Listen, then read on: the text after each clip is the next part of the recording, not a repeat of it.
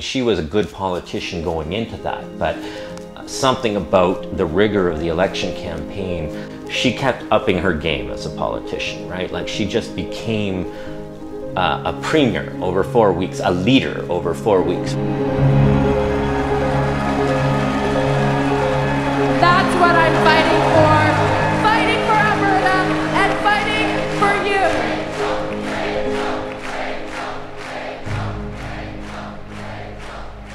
Well, I her her friendships are very very important to her, and and when you're when you become her friend, it's it's basically for life. You know, you're not she's not.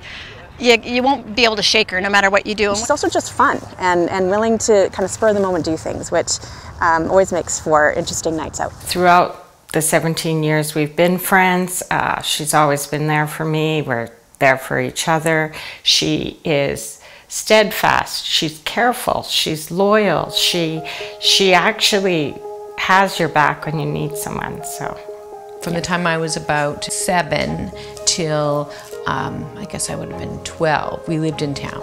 And I remember there was a certain point in time where I used to love every Saturday morning to like hop on my bike, bike down to the uh, local candy store, buy a whole bunch of like two for one cent candies, go to the library, pick up two or three books, like the famous five or whatever, take them home and then spend the afternoon reading. That was like super fun. And then my friends would be phoning to want to go do something else and I'd be like constantly telling my mom to tell them I wasn't there or whatever so that I could like hang out and do that. And my friends, like anytime they'll come over, the two things they will always be shocked about when they meet my mom is, wow, your mom is really short. And oh my God, she curses like a sailor.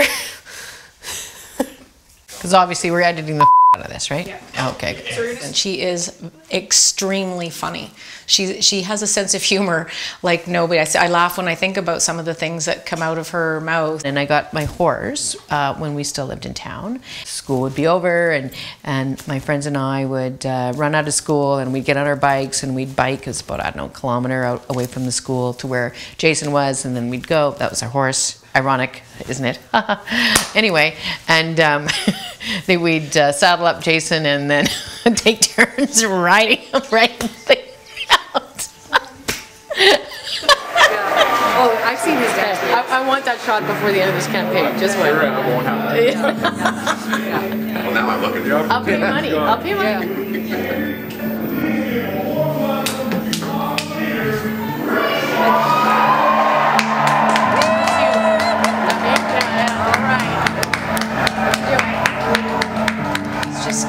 She she's just all, always for us just been um, the person that you want to have around because she's funny and loyal and committed to your friendship right? She's you know you know she's the kind of person if she's your friend you've got her for life and that's it you know?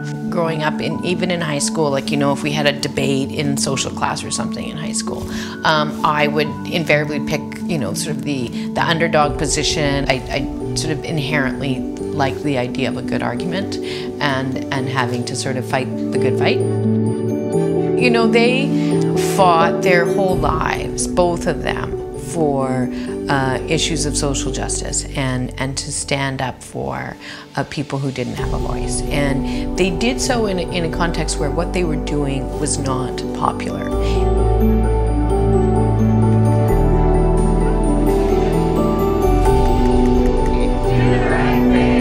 Predictably she would have chosen Tucker because he was a three-legged mangy half-dead dog and for her uh, that was the dog she had to have and so when I think of Rachel and I think about her commitment to those who need kind of extra and who need um, more support and who have suffered disadvantage, it, it, really is, you know, I look at her dog and I, it says everything you need to know about her. I don't specifically remember her deciding to rise in MLA, but I do remember when she won. Like that was that was super hype because I was obsessed with hockey back then. And I specifically remember being like, you know what we need to do? We need to like hoist her over our heads like the Stanley Cup, like all of us. Or even better, we need to like do one of those like Gatorade dumps. Like I was just, I was so immensely proud of her at that time felt so good. She's a compelling individual and she's funny too, yeah. you know, and I mean that is the great thing about both of them. They're just both they both have a great sense of humor and they like to laugh and they like to help other people to laugh too. Uh, well, I mean, I am enormously proud of everything she's accomplished. I um, uh, put together a list of everything her government has done. It was like about 300 items long. Um, I am her biggest cheerleader. I think the work that she's done in four years has uh, exceeded my wildest expectations of what any government could accomplish in four years. This person calls Lou and says, "Oh, you know, Rachel just met my my sister," and uh, and Lou thought he was going to make some sort of cynical joke about you know what I did or said, and he almost started crying. Uh, well, he actually did start crying talking to Lou about um, how much we'd changed your life. As far as I'm concerned, playing a small role in uh, the work she's done is, uh, you know, it's it's one of the the great accomplishments of my life that I could help her uh, in in a small way. It's easy to get discouraged in seeing the determination that Rachel's always had about Alberta. Of course, I find that very inspiring um, and it makes me feel much more hopeful about what is possible to do here or anywhere if we just stick to it.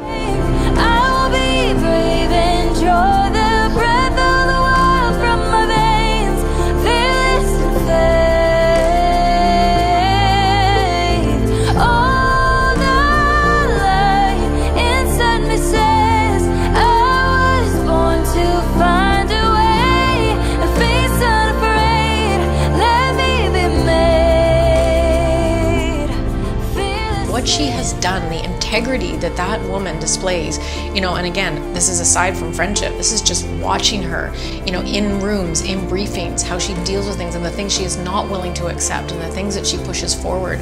She's, she is, um, yeah, she's pretty spectacular. Super look forward to supporting Notley in this upcoming election. Uh, very excited to see what, what's in store for us here in Alberta. I'm really inspired by her. She represents all Albertans, not just the ones that are well off and the most affluent. I'm Danny Hay, and I'm proud to be voting for Rachel Notley. What gives me hope is what I hear back from Albertans. It's the smiles, the enthusiasm, their sense of the meaning around what we've been doing, and and their sense of hope about how much more we can do, and uh, their enthusiasm about all of us coming together and, and doing it together. My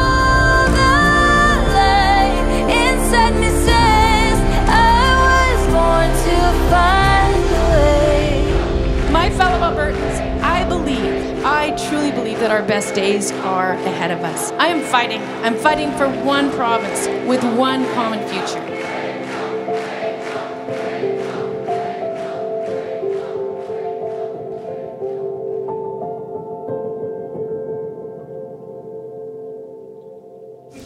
We should do something funny. We need funny. There should be something funny. Do we have any funny in this? No. Oh, guys. Very funny. We can come up with something right now. Super boring. Wish there was something funny. God. Come on. Think about that now.